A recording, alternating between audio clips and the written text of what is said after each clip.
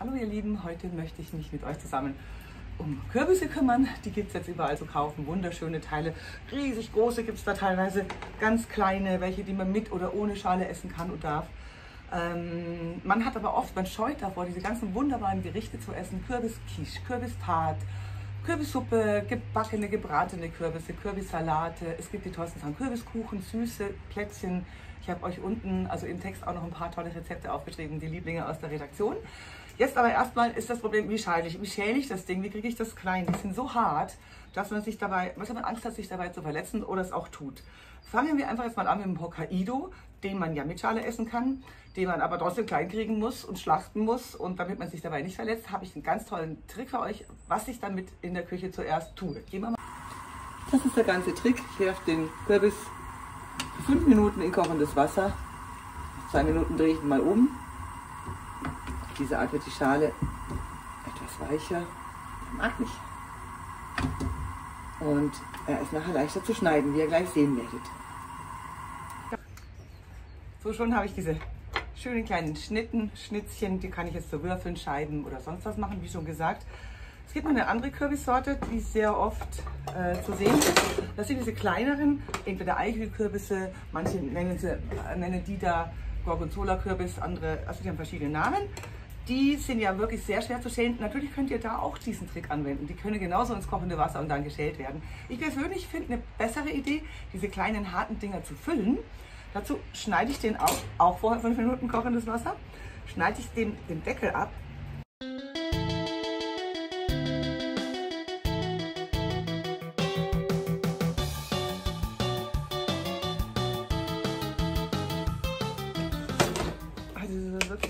So, jetzt. Schwer genug. Ich persönlich habe eigentlich so ein kleines Kürbisbesteck mir mal gekauft, so zum Schnitzen.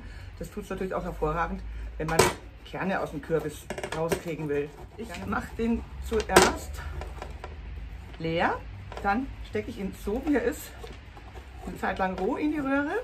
Das habe ich euch auch alles aufgeschrieben, ganz brav, wie es genau geht. Der Deckel wird mitgebacken. Dann kommt erst die Füllung rein.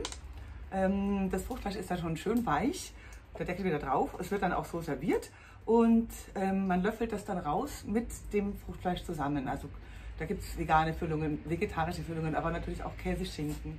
Ja, also hier beim Aushöhlen, ähm, ich habe vor so einen kleinen, das ist so aus dem Kürbisschnitzbesteck, das habe ich benutzt, um den ein bisschen weit zu machen, aufzumachen. Jetzt hülle ich ihn noch aus. Der kommt jetzt in die Röhre bei ungefähr 180 Grad, eine Zeit lang 180, äh, 180 Grad kann auch 190 sein. Mm, je nachdem, wie klein der ist. Die ganz kleinen kann man ja auch füllen, von 10 Minuten bis zu 40 Minuten. Ihr müsst dann einfach immer mal reinstechen, ob das schon weich, ist. Dann wird er erst gefüllt mit Käseschinken oder Gorgonzola, Räucherlachs oder natürlich auch vegan. Ich habe euch auch ein veganes Rezept, ein vegetarisches Rezept aufgeschrieben.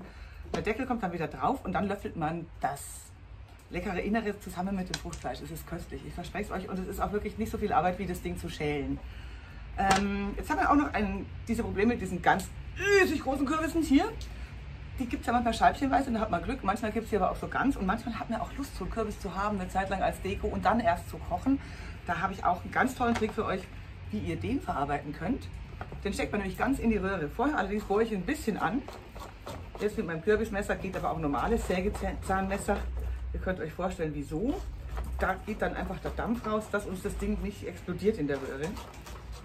Da muss ich einfach ein bisschen was rausnehmen und schauen, dass ich bis ins Kerngehäuse komme, sodass da der Dampf entweichen kann. Mehr ist es nicht. Den stecke ich jetzt in die Röhre bei 180 Grad, auch ungefähr, ja fast eine Stunde. Dann kann ich den auseinandernehmen, ist ganz weich, der fällt dann so schön zusammen, kann ich den auseinandernehmen, das Fruchtfleisch ähm, gewinnen, diese Kerne kommen wieder weg oder man macht eben, wie gesagt, geröstete Kerne draus. Ich kann es nicht, ich, ich bin zu hektisch, ich habe zu viel Arbeit. Aber vielleicht gibt es ja tolle Ideen, habe ich ja schon gesagt, für mich, wie man diese Kerne verarbeiten kann noch. Äh, ich hoffe, ich habe euch ein bisschen die Angst vor diesen harten, großen, schweren, schwarzen, äh, schwarzen, nicht schweren Kürbissen genommen. Wenn ihr, ich habe noch eine Bitte gekriegt, dass ich mal zeige, wie man diese schönen äh, floralen Muster in die Halloween-Kürbisse schnitzt.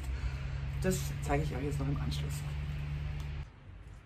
So, beim Halloween-Kürbis nämlich, da fackel ich nicht lange rum, deswegen musste ich jetzt meinen Perspektivwechsel vornehmen. Den schneide ich mit der Stichsäge weil alles andere ist mir zu läppisch. Das ist wirklich hart, das Ding.